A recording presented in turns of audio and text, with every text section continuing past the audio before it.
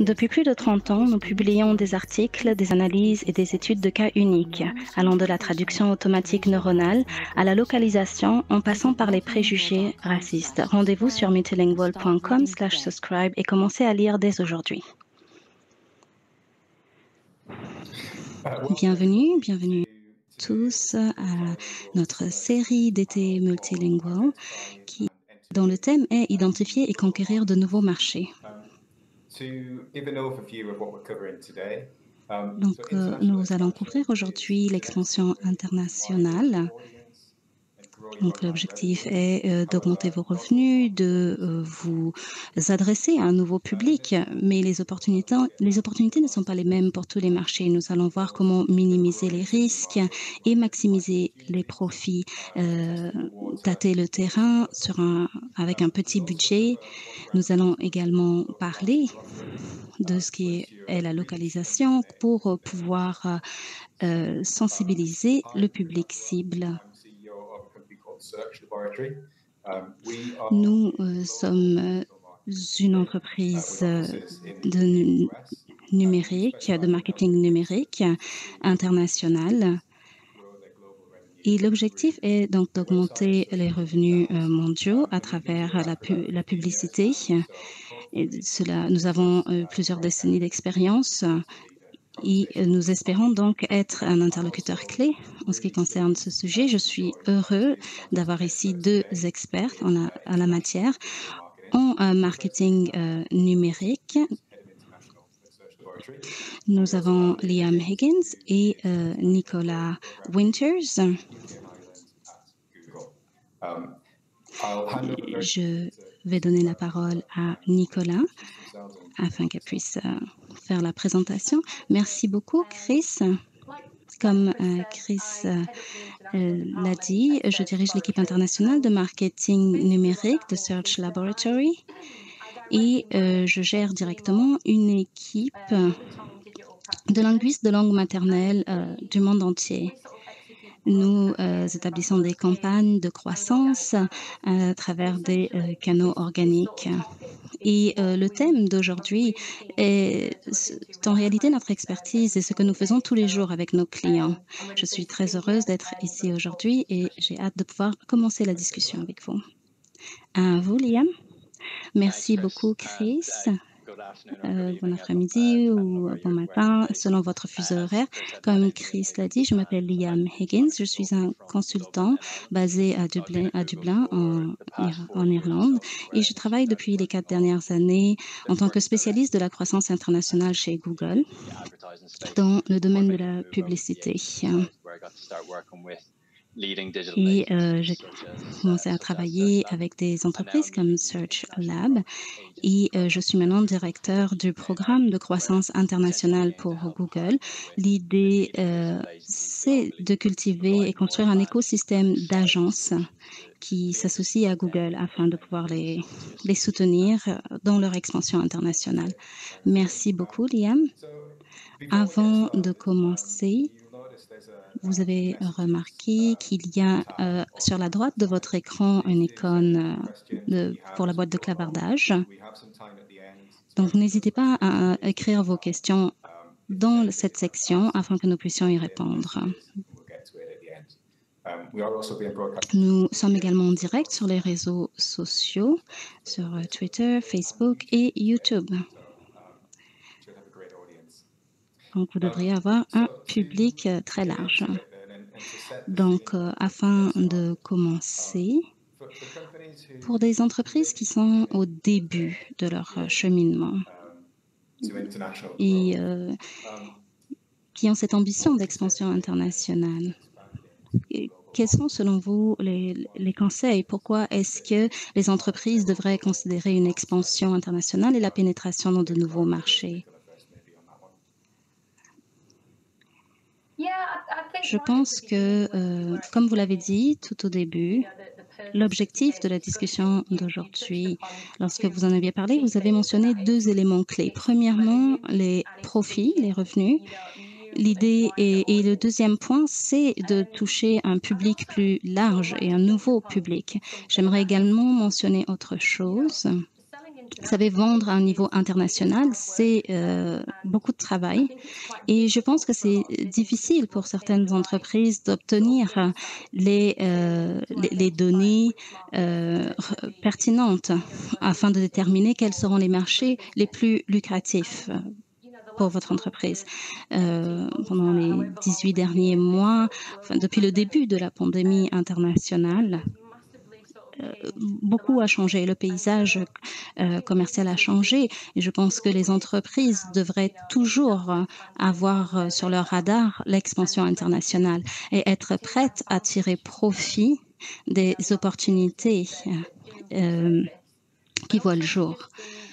Et euh, les entreprises, de façon généra générale, devraient aussi être euh, plus compétitives. Je ne dis pas que c'est plus facile en ce moment de vendre au niveau international, mais je pense que surtout en ce qui concerne euh, le commerce de détail, on travaille avec des plateformes de commerce en ligne. Euh, et il n'y a pas de, machine impliquée dans tout cela à l'arrière. Donc, je pense que c'est facile de, saisir des opportunités et de tâter le terrain. Donc, je pense que cela augmente la compétitivité et, euh, les pro prospects de revenus de façon générale. Merci beaucoup, Nicolas. Je pense que c'est un bon point. Comme Nicolas l'a dit, ce n'est pas facile euh, de conquérir de nouveaux marchés, mais la technologie existe. Euh, avec par exemple le e-commerce, le commerce en ligne. Il y a euh, de, nouvelles opportunités pour les plateformes virtuelles.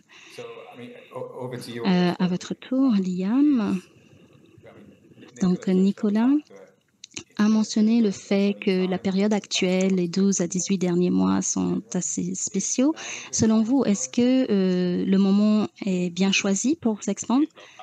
Bien sûr, c'est une question difficile mais je pense que c'est un moment euh, parfait pour penser à l'expansion internationale. C'est ce que nous remarquons chez Google, par exemple.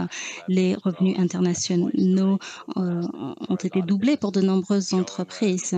Au niveau international, l'état euh, d'esprit a changé, pas seulement sur les 18 derniers mois. Cela fait bien plus longtemps, en réalité. C'est fou de voir à quel point c'est rapide de, croître en ce moment. Bien sûr, il y aura toujours des risques euh, qui seront liés aux décisions d'affaires. Mais comme nous avons réalisé ces derniers temps, à cause de la COVID, du Brexit, il y a une demande croissante, non seulement que pour, que les entreprises non seulement augmentent leurs profits, mais euh, touchent également euh, un public plus varié et que les revenus soient également plus variés. Donc cela a, été une réalité pour les entreprises euh, après le Brexit au Royaume-Uni et euh, pour les autres entreprises dans le cadre de la COVID. Au niveau du commerce au détail, il y a 2,3 euh, trillions de dollars qui ont été enregistrés. Donc c'est une, croisse, une montée fulgurante. Nous avons vu que la mondialisation est devenue une façon de pouvoir euh, avoir une, une, récupération au niveau économique. Donc, nous avons vu euh, la, différence euh, au niveau des entreprises en ce moment comparé à la situation après 2008 et la crise des subprimes. Donc, on voit qu'il y a également une intensification des achats transfrontaliers. Nous l'avons vu également entre nous. Nous avons vu que le temps que nous passons en ligne a augmenté depuis la COVID. Nous passons de plus en plus de temps en ligne et cela va augmenter notre exposition euh, ou notre envie euh, de découvrir de nouveaux produits ou de nouvelles marques. C'est une réalité que dont nous avons été témoins. Et la numérisation euh, monte et également. L'année dernière, euh, euh, pendant les trois mois de trois premiers mois de la pandémie, il y a une montée équivalente à dix années en ce qui concerne le, le commerce numérique. La population euh, achète de plus en plus en ligne. Donc, euh, pour quelqu'un qui veut ouvrir une boutique, euh, à, l'international, il y a beaucoup plus de risques. Donc, il y a moins de risques pour quelqu'un qui veut ouvrir une, entreprise en ligne. C'est plus facile de toucher le public, c'est plus facile et donc c'est dans un moment idéal de, prendre ces risques et de voir cela comme une opportunité et de ne pas manquer cette vague. Merci beaucoup, Liam. A en effet, les statistiques sont également sont en effet euh, impressionnantes. Et euh, vous avez une vue euh, d'ensemble de tout ce qui se passe sur les marchés. Donc, euh, merci beaucoup. Um, donc, maintenant, passons à la question qui est de savoir quelle est la première étape dans la décision qui est de savoir est-ce qu'il faut expandre au niveau international ou pas. Bien sûr, le monde est, est grand, il y a beaucoup de pays, de marchés à considérer. Donc, typiquement, lorsqu'on euh, s'adresse à des clients ou à des clients éventuels, la plupart des entreprises n'ont pas des budgets illimités. Donc, euh, il y a toujours un processus qui est de savoir où euh, focaliser les efforts. Donc, comment est-ce qu'on décide où euh, concentrer nos efforts et nos ressources au niveau international, sachant qu'il y a tellement d'opportunités euh, de pénétrer de nouveaux marchés.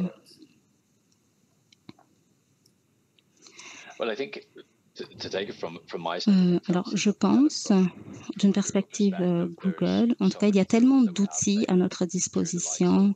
Il y a Google Analytics, par exemple, Google Ads. Euh, si vous faites du marketing avec Google, cela vous permet d'avoir accès à des données que vous pourrez prendre en compte. Moi, j'utiliserai surtout euh, les systèmes d'analytique, comme Google Analytics. Il faut, grâce à cet outil, vous pouvez générer des rapports qui vous permettent d'analyser euh, euh, votre client, euh, votre clientèle, voir où est-ce qu'il y a du trafic vis-à-vis -vis de votre marque. Et si vous commencez à lancer une recherche sur euh, d'autres marchés internationaux, que vous voyez qu'il y a beaucoup de trafic, cela vous permet de définir euh, où se situe votre marque et comment votre marque peut se situer sur ces marchés. Google Analytics peut également être utilisé euh, pour définir les marchés à fort taux de conversion et où il y a un fort retour sur investissement. Cela fonctionne selon vos objectifs pour, de, pour, des entreprises variées. Donc, pour moi, il y a deux endroits où je commencerai. Premièrement, si on voit qu'il y a un grand volume de trafic au niveau international, je pense que c'est un bon moment de commencer à faire plus de publicité pour euh, affirmer votre présence que ce soit à travers des partenaires affiliés, à travers euh, Google, et cela permet euh, que vos produits soient trouvés à travers des recherches génériques. Si vous associez cette démarche à Google Trends, par exemple, cela va vous permettre de comprendre quel est le potentiel dans ce marché, par exemple. Et comme je l'ai dit, s'il y a des domaines dans lesquels le taux de conversion est fort, déterminer, par exemple, si ce que vous voulez, c'est un fort euh, retour sur investissement, mais si vous n'avez pas beaucoup d'argent à investir, dans ce cas-là, il faudra certainement euh, cibler euh, vos marchés. D'accord, donc il vous parlez euh, donc de, de, données qui sont plutôt accessibles, que l'on peut euh, trouver en ligne, Google Analytics, euh, des, euh, des annonces d'essais par exemple. Cela est assez accessible, mais au-delà, de ces outils Quelles sont les autres euh, choses que l'on peut faire pour analyser ces marchés et vérifier si l'opportunité est réelle? Um, Oui, juste pour revenir à ce que Liam disait, en fait, c'est important lorsque vous utilisez surtout des outils de parties tierces qui peuvent vous donner une idée de l'intérêt vis-à-vis de vos produits ou services. Cela serait également euh, pertinent de définir quelle est la compétition au sein de ce marché. Il s'agit d'outils très euh, significatifs, mais je pense qu'il est aussi très important que vous engrangez des données euh, des données primaires. Qu'est-ce que cela signifie pour mon entreprise? Parfois, cela peut inclure le fait de tester euh, certains services avant d'investir beaucoup d'argent dans les campagnes euh, numériques, dans le contenu du site web et dans les publicités. Ce serait une bonne idée de, donc, de faire cela. Parfois, lorsqu'on évalue une entreprise, ou qu'on la compare euh, aux attentes d'un marché et au comportement des usagers, lorsqu'on pense à euh, la pénétration de nouveaux marchés, la question qu'on se pose, c'est qu'est-ce qui va me permettre de réussir? Et en fait, nous devons nous assurer qu'au niveau linguistique, nous soyons fidèles à la culture, à la langue de ce marché. Et je pense que le, cela le budget dont vous aurez besoin devra être défini. Euh, également, de, y aura-t-il par exemple besoin d'engager une nouvelle équipe pour générer du contenu frais et localisé?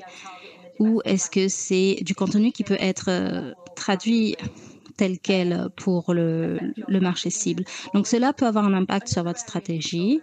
Un autre domaine à considérer, c'est encore une fois la compétition. Quelles sont euh, les normes et les thèmes euh, généraux que l'on voit sur ce marché? Pourquoi est-ce que les compétiteurs euh, réussissent dans votre marché? Et qu'est-ce que vous devez changer dans votre site web, par exemple? Donc, je pense que la meilleure façon de l'expliquer, c'est que c'est de faire en fait une vérification, un audit de votre pénétration sur le marché. À quel point êtes-vous prêt pour vendre sur ce nouveau marché? Donc, vous devez vous assurer que vous comprenez les requis juridiques, euh, également tout ce qui est l'assistance clientèle, les méthodes de paiement, euh, ce dont vous avez besoin pour que le public visé euh, puissent euh, donc s'approprier vos produits ou services. Donc, je pense que c'est important de prendre cette perspective nationale et, interne et de se dire quelles sont les choses que je dois changer et euh, quels, quels sont les éléments pour lesquels nous sommes prêts? Euh, par exemple, si vous ciblez trois marchés différents, vous devez vous poser la question de savoir quel est le bon marché pour vous. Et pour cela, vous pouvez euh, faire, par exemple, un rapport de viabilité du marché. Vous savez, nous avons beaucoup de clients et ce que nous essayons de déterminer avec nos clients, c'est euh, c'est toujours de savoir à quel point êtes-vous prêt d'investir dans votre expansion. Donc c'est un euh, thème commun, mais donc c'est toujours euh, du cas par cas. C'est ce que je vous dirais souvent. Merci beaucoup, Nicolas. Donc, une autre question pour Liam. Y a-t-il d'autres outils euh, que vous avez vus, que vous voyez sur le marché, que les entreprises ou les agences euh, peuvent utiliser pour avoir une compréhension plus poussée des opportunités du marché? Au-delà de Google Ads, euh, avez-vous des euh, outils secrets auxquels vous, vous avez accès? Oui, bien sûr. Si des entreprises travaillent avec un gestionnaire de compte euh, Google ou avec une agence partenaire de Google, il y aura toujours euh, des outils euh, supplémentaires que ces entreprises pourront utiliser. Il y aura des ressources supplémentaires. C'est un, avantage massif, bien sûr, pour ces entreprises. Mais pour les entreprises qui se lancent toutes seules ou qui n'ont pas les ressources nécessaires, il y a certains outils que je peux Le premier est l'outil de recherche de marché de Google. C'est un outil gratuit que n'importe qui peut utiliser. Il y a euh, trois choses que, que, cet outil permet de faire. Premièrement, de trouver le meilleur marché pour votre entreprise. Cela vous montre les recherches mensuelles pour euh, vos produits ou services. Cela affiche également le PIB euh, des différents marchés. Euh, cet outil analyse également le comportement des utilisateurs. Comment est-ce que les utilisateurs achètent au sein de ce marché? Quelles sont les démographiques? Quels sont euh, les sites sur lesquels ces utilisateurs cherchent? Donc, cela est un bon complément à Google Ads ou à d'autres outils. Par exemple, lorsque vous rentrez votre URL, votre adresse dans ce logiciel, ce logiciel vous, vous génère tout de suite des données. Et euh, cela revient à ce que Nicolas vous a dit. Cela vous permet de, de vous assurer qu'au niveau culturel, euh, vos services et produits sont appropriés au marché que vous visez. Donc, si vous avez euh, besoin de soutien pour euh, l'assistance clientèle, euh, pour les méthodes de paiement, etc., tout cela vous sera donc expliqué. Et finalement, cet outil vous donne également des outils des, des, conseils au niveau du marché et qui vous donne de l'assistance. Donc, les euh, agences qui euh, sont partenaires de Google euh, ont accès à ces outils. Mais nous avons donc également des outils spécialement pour nos partenaires. Tous ces outils leur permettent donc de comprendre ces données, mais aussi de les utiliser à leur profit. Un autre outil que j'aimerais mentionner, c'est un nouvel outil qui s'intitule My Export Score. Si vous voulez faire une rapide analyse de votre site web pour euh, comprendre votre viabilité au niveau euh, de l'expansion, vous devez absolument euh, consulter cet outil. Vous pouvez le rentrer dans, dans Google, My Export Score, et en gros, cet outil euh, combine toutes les, données de Google Ads et euh, les compare à votre site web et euh, génère un rapport très simple, très clair, qui vous permet donc de comprendre où se situe votre site web par rapport au marché que vous visez et vous permet d'améliorer ce qu'il faut améliorer. Donc, c'est vraiment un outil que je vous, que je vous conseille de consulter si vous avez l'intention de vous expandre au niveau international. D'accord, merci beaucoup, Liam. Oui, je suis tout à fait d'accord avec ce que Liam euh, dit. Si euh, vous avez des euh, campagnes de publicitaires avec Google ou que vous utilisez dans Google Ads, si vous avez un compte avec Google ou si vous travaillez avec une agence qui est partenaire de Google, vous avez accès à à des experts, à des analystes experts qui vont vous soutenir. Et vous avez un programme de croissance, un programme de partenariat de croissance dont notre, à laquelle notre entreprise, par exemple, a accès. Et cela a vraiment euh, propulsé nos, nos, nos capacités. Nous avons accès à des données euh, plus exclusives.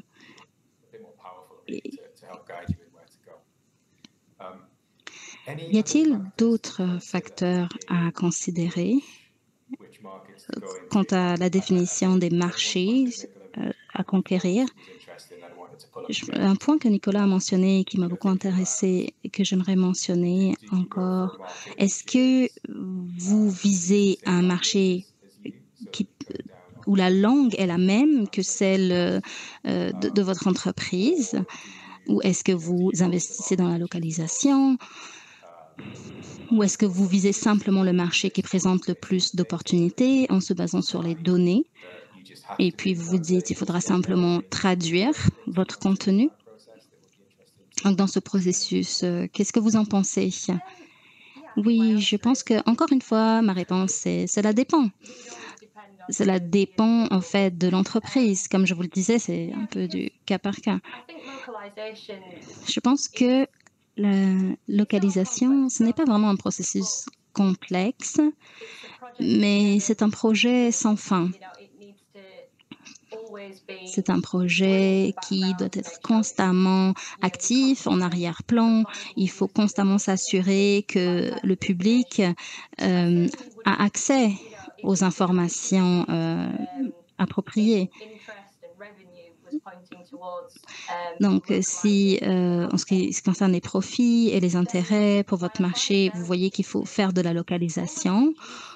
Mon conseil, c'est de toujours donc revoir le, le coût de la traduction dans le coût de la traduction, d'intégrer en fait des euh, des analyses numériques dans ce processus.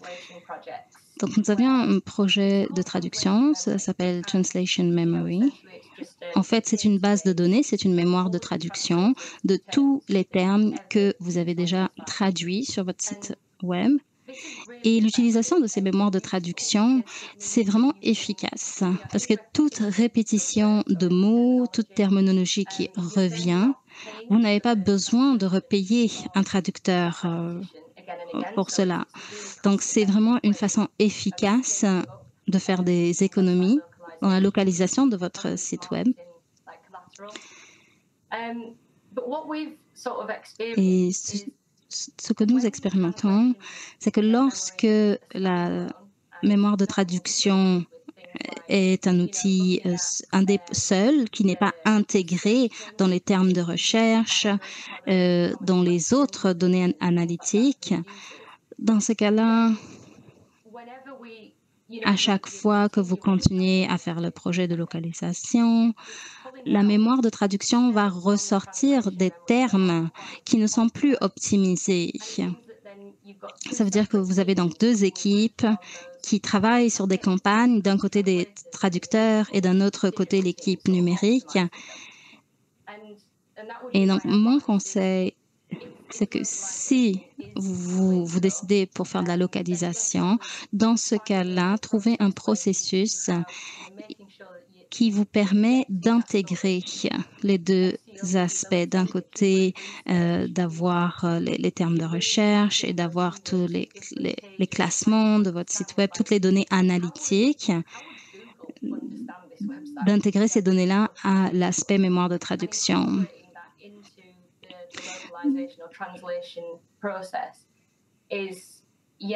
Donc cela vous permet d'économiser du temps, cela vous permet d'économiser de l'argent et cela vous permet aussi d'utiliser à l'avenir des termes qui sont optimisés, qui sont à jour. Donc euh, sur le long terme, n'essayez pas de voir un, un marché sur lequel vous devez localiser et vous dire non, cela ne va pas être possible parce que nous aurons besoin de plus de ressources ou de plus de temps. En fait, ce qu'il faut surtout vous assurer de faire, c'est vous assurer que le processus est fluide et que les deux équipes travaillent euh, ensemble. Oui, merci Nicolas. C'est un très bon point et je pense qu'en ce qui concerne la localisation, oui, c'est un, une tâche qui est lourde, c'est beaucoup de travail, la localisation d'un site web. Euh, nous euh, ne travaillons pas dans le commerce au détail, nous, sommes, euh, nous faisons des affaires inter-entreprises. Nous travaillons avec des entreprises de technologie. Donc, le processus pour l'expansion internationale est différent. Oui, ils doivent traduire leur site web, les interfaces technologiques il se peut qu'ils aient besoin d'avoir euh, un service euh, d'assistance clientèle euh, bilingue. Mais pour le reste, cela ne, change pas. La façon donc de conquérir de nouveaux marchés est la même. Donc, il y a des entreprises qui ont des dizaines ou des centaines de milliers de produits à vendre et il se peut que les produits changent au fil des mois. Donc, il y a énormément de, localisation qui est nécessaire euh, dans le monde du commerce du détail. Euh, mais je pense que Nicolas a raison. Si le marché que vous visez requiert une localisation, euh, vous devez donc entreprendre cela.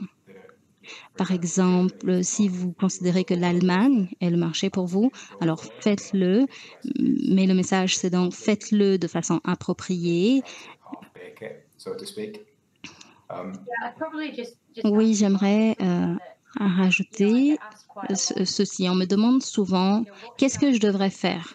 Est-ce que euh, je devrais euh, cibler un pays qui parle ma langue Et vous connaissez ma réponse, cela dépend.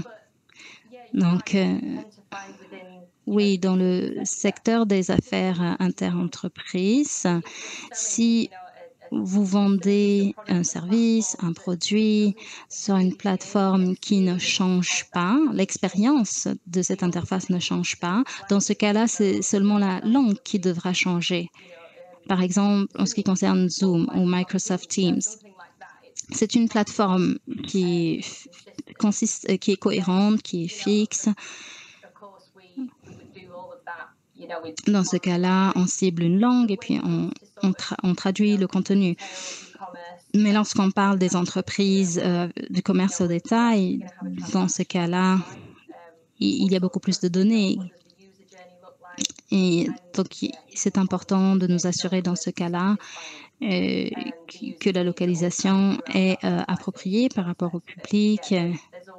Mais oui, encore une fois, mais c'est sûr qu'il y a toujours cette question que les entreprises se posent, que devrais-je faire? Et encore une fois, comme je vous disais, cela dépend. Merci euh, beaucoup, Nicolas. Je pense qu'une question que l'on pose souvent lorsqu'on parle aux, clients, une question qui revient souvent, on, nous dit tâter le terrain, comment est-ce que je peux tâter le terrain avec quelques marchés euh, pour pour euh, avoir une idée? Est-ce que vous, vous avez quelque chose à dire à ce sujet? Nous avons beaucoup d'entreprises que nous gérons. Nous faisons, avons un gestionnaire de euh, publicité Google. Euh, parfois, il y a un manager, euh, un gestionnaire qui vient nous voir et qui nous demande donc de localiser une campagne publicitaire pour l'Allemagne. Puis on nous demande est-ce que je dois traduire mon site web? Et est-ce que, enfin, je, n'importe lequel d'entre vous peut répondre, mais comment donc tâter le terrain euh, à, votre avis? Faut-il tout de suite euh, traduire le, site web euh, ou pas? Faut-il donc faire une annonce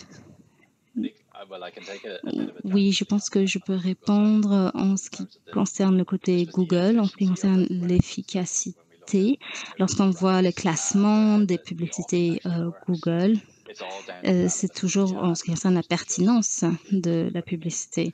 Donc, si vous avez par exemple une publicité allemande qui est redirigée vers un site web euh, anglais, automatiquement, la portée est, réduite parce que vous devrez localiser la campagne publicitaire afin qu'elle soit adaptée au public. Et donc, euh, beaucoup de personnes ont dit qu'en Allemagne, il y a beaucoup euh, d'anglophones. Et c'est vrai, euh, environ 70% des, euh, des Allemands ont une bonne maîtrise de l'anglais, donc ils peuvent comprendre l'anglais. Mais mais 93% des recherches Google sur, en Allemagne ont lieu en allemand et pas en anglais. Euh, une autre chose, c'est que les Allemands ont tendance à réagir à la communication en ligne. Ils aiment que la communication soit directe, euh, sans tourner autour du pot. Et euh, donc, lorsqu'ils font une recherche en anglais, euh, en allemand et qu'ils tombent sur un site en anglais, cela euh, ne va pas faire une bonne impression pour eux. Et c'est important aussi donc que la marque soit adaptée au niveau culturel pour ce public-là. Donc euh, oui, pour tâter le terrain, c'est possible de lancer une publicité pour euh, essayer de comprendre le marché, mais la performance du, marché euh, pour vos produits va être faible parce qu'il y aura un manque de conversion. Donc euh, oui, cela peut être euh, une bonne façon de, de tâter le terrain, mais ce ne sera pas une bonne idée de savoir est-ce que votre produit euh, résonne auprès de ce public. Peut-être que Nicolas peut nous donner euh, son avis.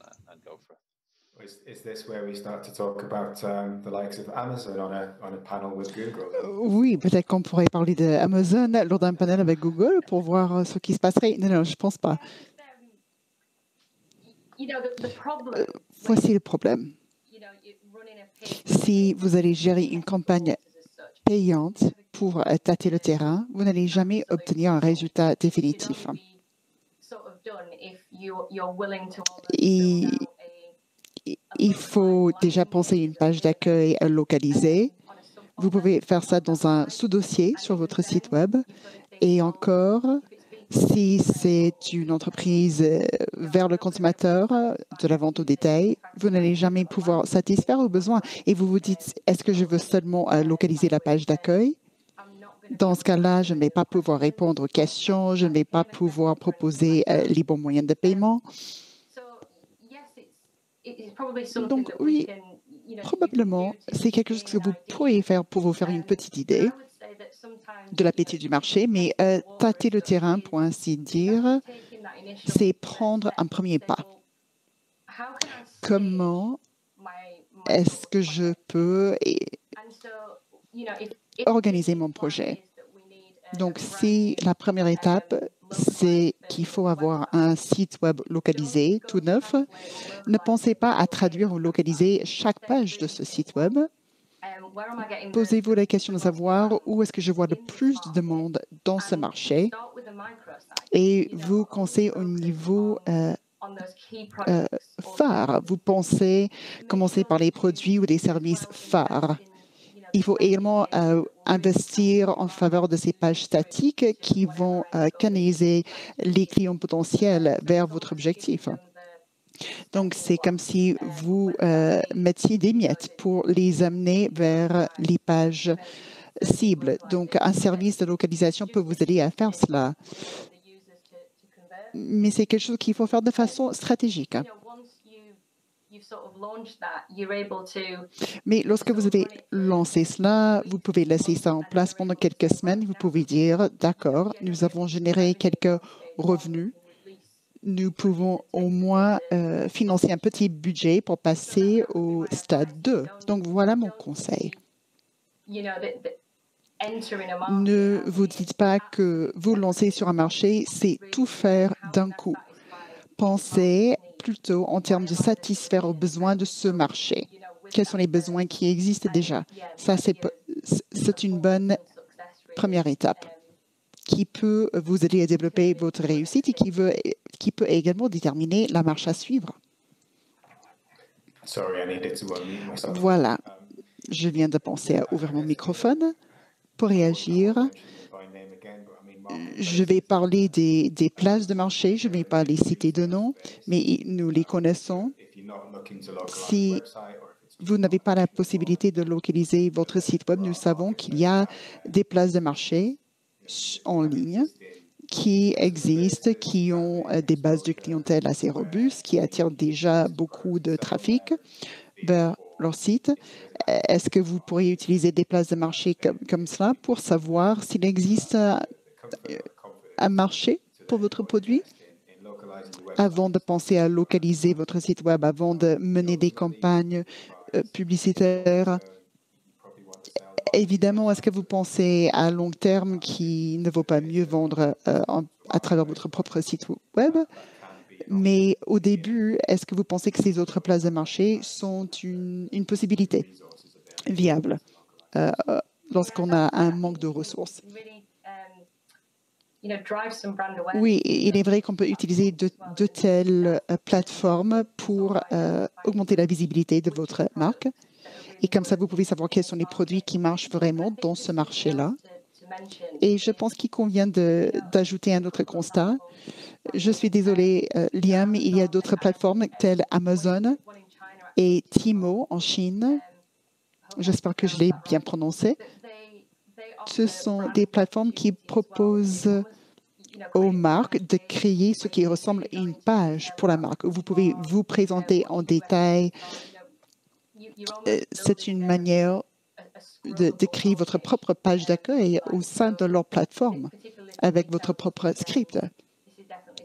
Et c'est quelque chose que nous faisons avec nos clients. Et nous pouvons nous développer sur cela si on part à l'avenir vers la localisation d'un site Web dédié. Non, non, vous n'avez pas à vous excuser. Chaque fois que vous citez le nom d'un concurrent, euh, je n'ai pas autant de passion que cela. Je reconnais bien qu'il existe d'autres plateformes, je ne peux pas le nier.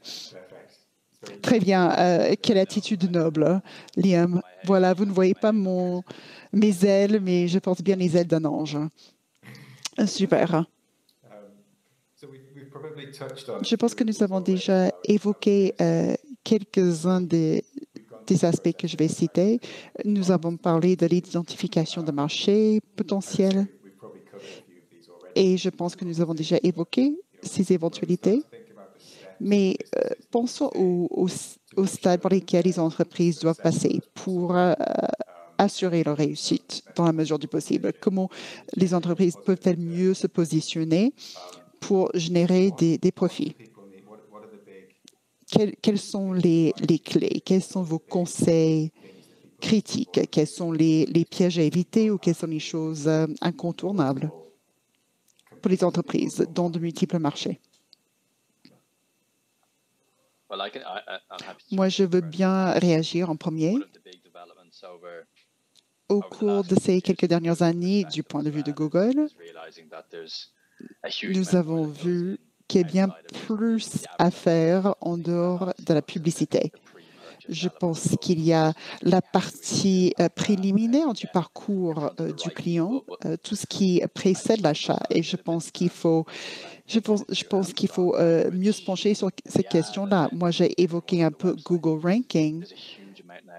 Mais moi, je pense qu'on doit davantage se focaliser sur tout ce qui précède l'achat et ce qui vient après l'achat je pense que nous proposons plus de soutien à ces étapes-là que par le passé.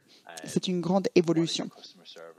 Quelles sont les possibilités de service euh, clientèle euh, et quelle est l'expérience dans son intégralité de l'arrivée sur la page d'accueil jusqu'au règlement de son achat? Il faut également bien travailler sur tout ce qui se passe euh, derrière dans les coulisses, la logistique. Il faut que les opérations soient traitées euh, de manière fluide, rapide. Est-ce que vous avez trouvé le bon, le bon équilibre entre la rapidité de livraison, le coût de livraison? Aux États-Unis, on préfère la gratuité de la livraison, par exemple la durabilité de la livraison au lendemain. Donc, il y a des différences culturelles euh, dont, il faut tenir compte. il faut bien reconnaître euh, quelles sont les préférences des consommateurs dans votre marché. Et puis, il y a les modes de paiement préférés. Est-ce que vous avez localisé le règlement des achats?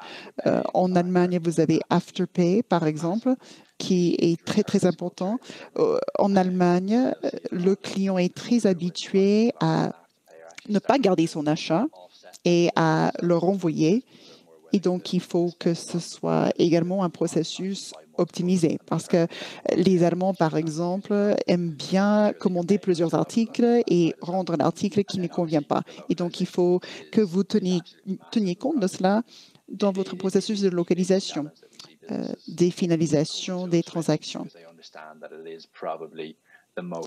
Il faut comprendre que le détail critique, si vous pensez bien faire, c'est de bien organiser la finalisation et le règlement de l'achat et surtout ne pas confondre la traduction avec la localisation.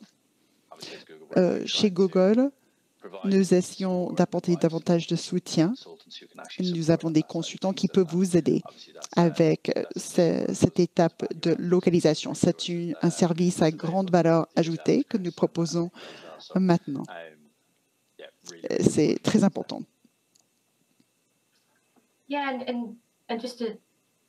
Oui, je vais également proposer une réponse à la question.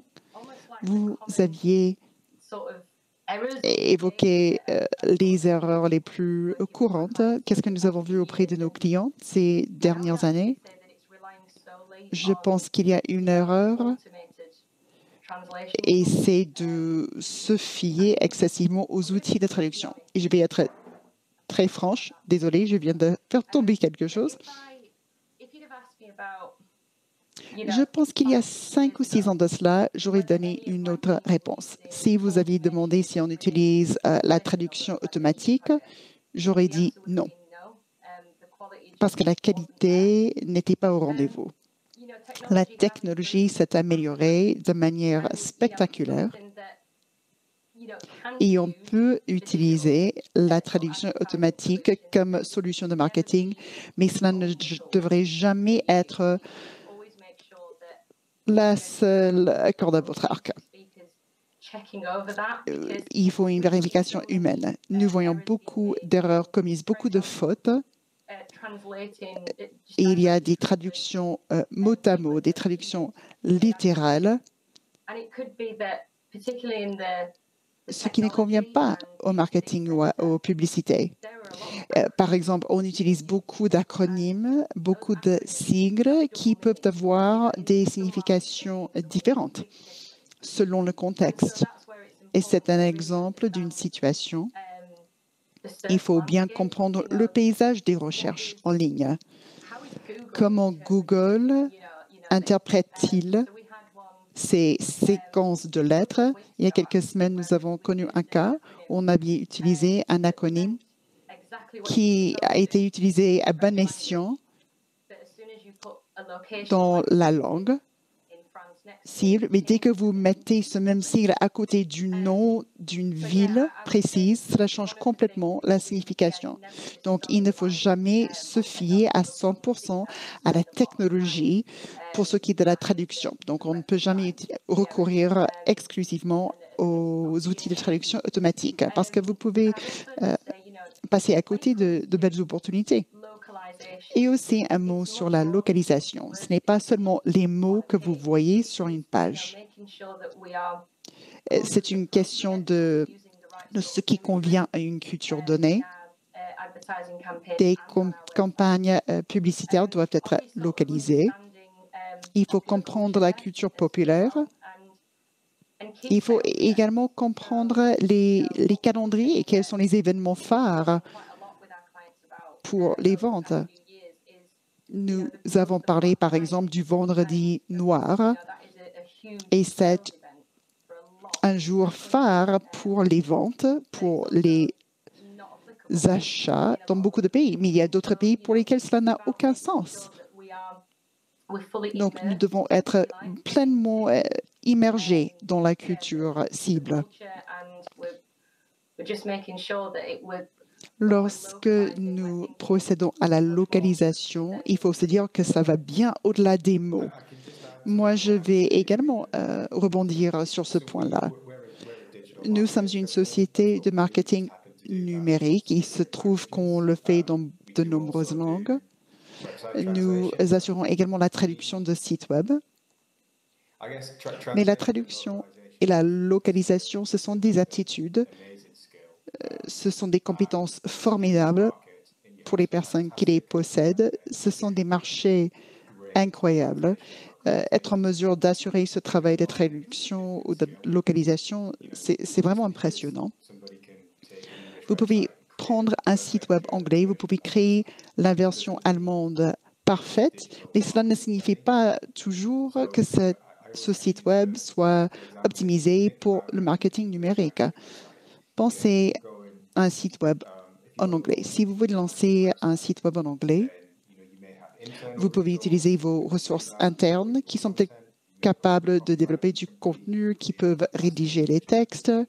On peut vous euh, livrer en interne un très beau contenu. Et puis, il faut aller parler avec une équipe de marketing numérique qui va vous dire que cela ne convient pas du tout. Il faut tout convertir ou adapter.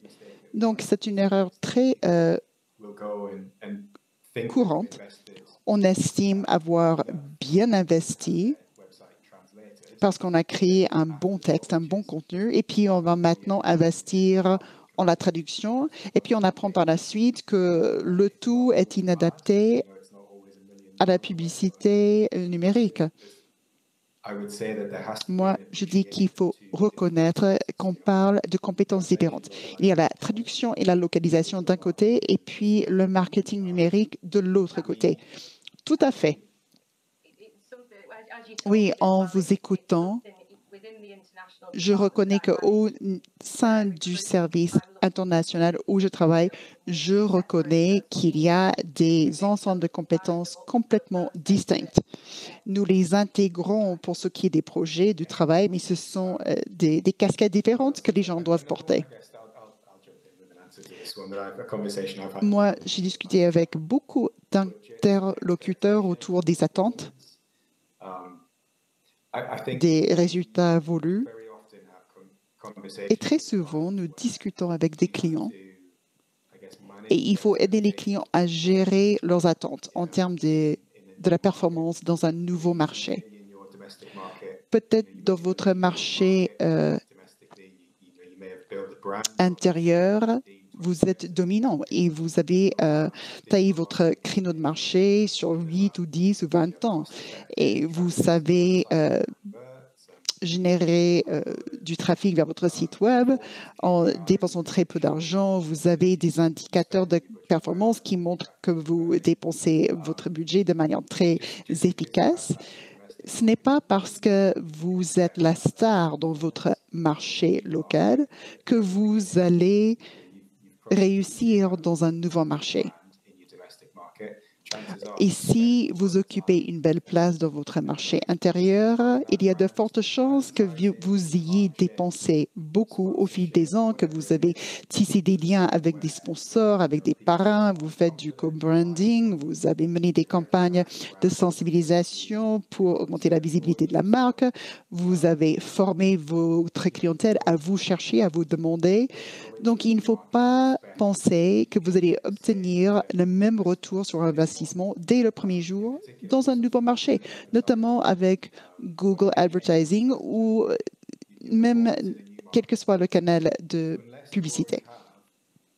Sauf si votre marque est déjà exposée à ce nouveau marché cible, sauf si votre marque est déjà connue, si vous avez déjà une visibilité grâce au partenariat ou sponsoring, Sinon, vous n'allez pas euh, obtenir le même retour sur investissement au début que vous avez sur votre marché euh, initial, votre marché intérieur. Donc, il faut avoir les yeux grands ouverts, il faut reconnaître les investissements requis pour euh, dans la promotion de votre marque, pour générer du trafic vers votre site Web. Et je pense que dans tout cela, à mon avis, si vous allez vous lancer dans un nouveau marché, il faut une stratégie pour gagner. Si votre stratégie est simplement de d'essayer, si votre stratégie est juste de faire un peu de concurrence aux acteurs existants, vous allez échouer parce que vous avez des sociétés euh, locales comme concurrents qui ont des années, des, années d'expérience. Vous avez des sites web localisés à la perfection. Vous avez des services clientèle qui ont été développés pour répondre spécifiquement aux besoins de ce marché vous avez des sociétés euh, concurrentes qui proposent déjà un service impeccable, une expérience impeccable aux clients. Donc, si vous allez vous y lancer, il faut viser la conquête. Euh, si vous vendez des produits qui peuvent aller sur le marché, vous allez perdre votre argent. Ce sera du gaspillage. Il faut y aller avec l'esprit du vainqueur, sinon ce n'est pas la peine. Je ne dis pas que vous allez gagner, que vous allez dominer dans un nouveau marché, mais si vous fixez la barre très basse, vous n'allez pas gagner. Vous n'allez pas même réussir. Donc, il faut viser très haut pour atteindre un niveau justifiable, si vous voyez ce que je veux dire. Euh, je ne sais pas si Nicolas souhaite réagir ou Liam. Chris, je pense que vous avez bien mis le doigt sur quelque chose qui compte beaucoup et ça, c'est effectivement, il faut avoir des attentes réalistes. Très souvent, on veut capter seulement comme clients les personnes qui ont lancé une recherche sur leur marque, même s'il n'y a pas de, boutique là-bas, il n'y a pas d'activité euh, sociale, il n'y a rien dans les réseaux sociaux. Et puis, on se dit, pourquoi est-ce qu'il n'y a pas beaucoup de trafic? Pourquoi est-ce qu'il n'y a pas beaucoup de demandes? Non, ce marché ne va pas marcher pour moi. Et puis, ils abandonnent. Donc, ça, c'était des efforts gaspillés, c'était de l'argent gaspillé. Il faut penser à mieux réfléchir, mieux analyser le marché.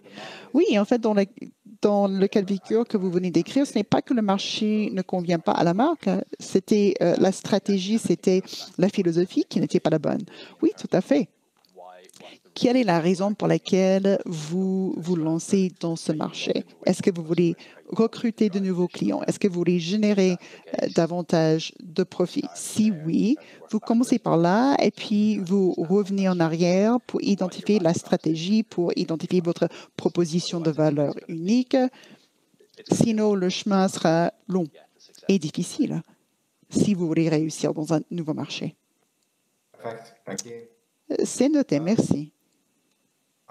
Je regarde le temps et je sais que nous arriverons bientôt à la fin des 60 minutes imparties à notre discussion. Quelles sont les questions clés que je n'ai pas posées? Euh, quels sont les sujets euh, que j'ai omis de mes questions pour ces dernières minutes qui nous restent? Ou bien, quels sont vos enseignements clés de notre conversation? Moi, j'ai quelques enseignements clés à partager et j'en identifie trois. Tout d'abord, le moment est propice pour vous lancer sur le plan international. Il est plus facile que jamais de vendre à travers les frontières et les, les consommateurs sont euh, plus prêts que jamais à acheter dans un autre pays. Et pensez aussi à vendre votre produit ou votre service dans un pays où il y a une demande.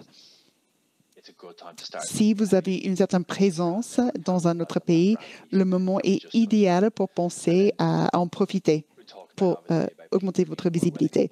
Moi, je dis que les personnes sont euh, plus aptes que jamais à passer des achats auprès d'une société étrangère, mais il y a également ce, cette tendance acheter local. Donc, il faut euh, aborder peut-être la distance perçue entre vous et le consommateur.